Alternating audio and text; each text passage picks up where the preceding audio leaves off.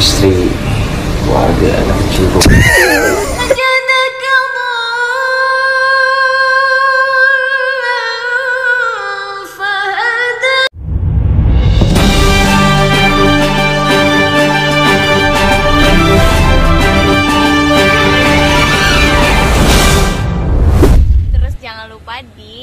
like, komen, dan subscribe terus di share juga ya. Kan masa harus dengerin apa kata orang? Ngejalanin. Iya makanya.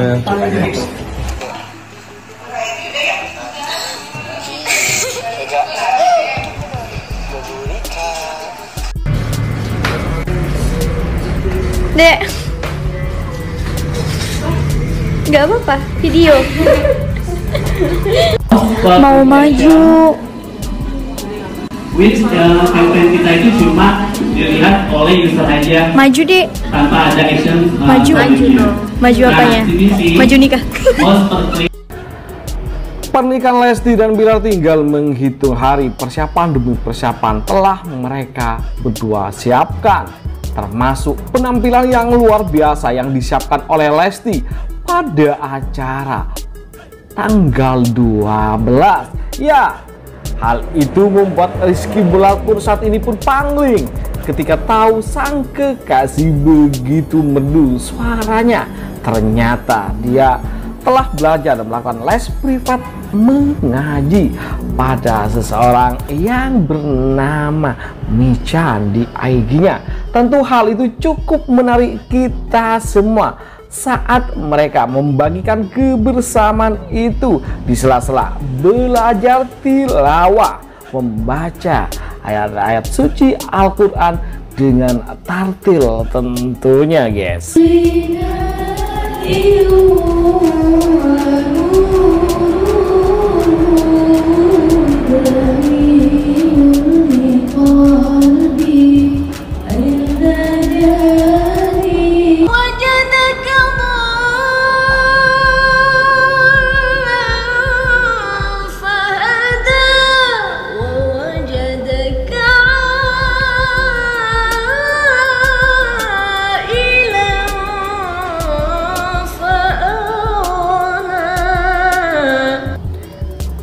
Sebelumnya memang sempat beredar. Lesti yang ngechat si Michan saat ia akan belajar mengutarakan maksudnya untuk belajar tilawah pada dirinya. Didik mau belajar langsung.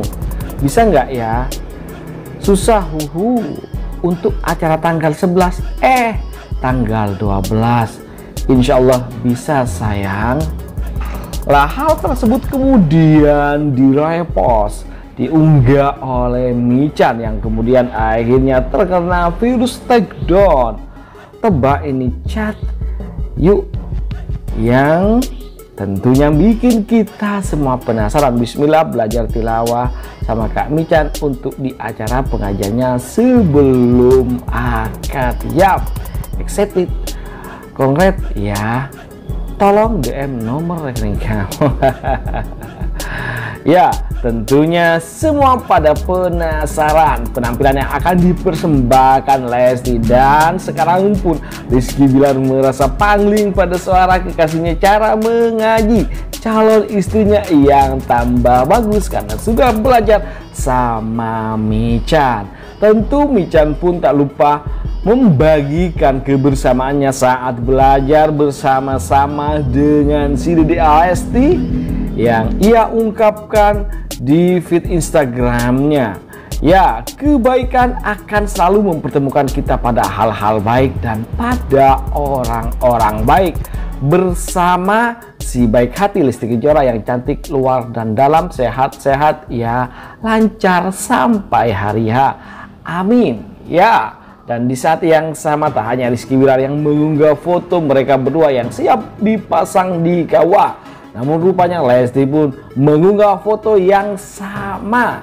Artinya mereka sudah siap dan tak sabar menunggu hari bahagia itu akan segera datang. Ya, kita pun sudah tak sabar menunggu momen-momen mereka melepas lajangnya. Sedangkan pesta lajang sudah usai dilaksanakan bagi Rizky Bilar tentunya kita sudah juga tak sabar menunggu rentetan yang akan segera tayang di Indosiar. So kalian semua tentunya juga sudah pada ingin melihat tayangan-tayangan yang akan mempersembahkan kebahagiaan mereka berdua yakni tayangan pernikahan Lesti dan Bilar yang memang sudah kita tunggu tanggal tayangnya dan pengajian yang akan dilaksanakan di rumah Bilar maupun di Lesti menjadi sesuatu yang so sweet banget apalagi tanggal 14 ini ada semacam acara spesial dan upacara adat bikin kita tambah penasaran bagaimanakah kemasan yang akan disajikan di acara pernikahan mereka berdua pernikahan Lesti dan Bilar yang so bikin kita semua dedek dan juga ingin segera sampai pada tanggal tersebut. Tentu tak hanya kita Lesti dan pun sama dedeknya sama-sama udah nggak sabar menunggu hari bahagia itu tentu kebahagiaan-kebahagiaan ini akan mengiringi dilaksanakannya yang namanya hari ulang tahun negara kita yang ke-76 tahun. Tentu kita semua pada mendoakan hal yang terbaik bagi negeri tercinta ini cepat pulih dan PPKM bisa segera diakhiri dan usai pada tanggal 16 tak diperpanjang lagi karena serentetan acara sudah disiapkan demi lancarnya, demi halalnya hubungan Lesti dan Bilar. Namun, apa pun yang dilakukan oleh pemerintah tentunya itu demi kebaikan bangsa dan negeri ini. So, kalian yang sepada nggak sabar, jangan lupa untuk selalu tune di channel kita ini. Caranya cukup mudah dengan kalian klik subscribe dan nyalakan loncengnya agar kabar-kabar mereka berdua Lesti dan Bilar yang selalu menarik untuk diikuti perkembangan info terbaru mereka kalian dapatkan update-nya hanya di channel kesayangan kita ini tentunya ya kebahagiaan Lesti dan Bilar menjelang detik-detik mereka akan segera ijab kabul. Ya sesuatu yang sesuai banget sesuatu yang udah tak sabar kita tunggu. Mereka sah menjadi pasangan suami istri. Tentu kita mendoakan dan tak lupa mendoakan diri kita. Dan juga jangan lupa untuk selalu patuh pada prokes yang sudah ditetapkan oleh pemerintah agar kita terhindar dari wabah ini dan selalu dalam keadaan sehat walafiat. Itu saja. Terima kasih telah menonton. Yuk, bye bye.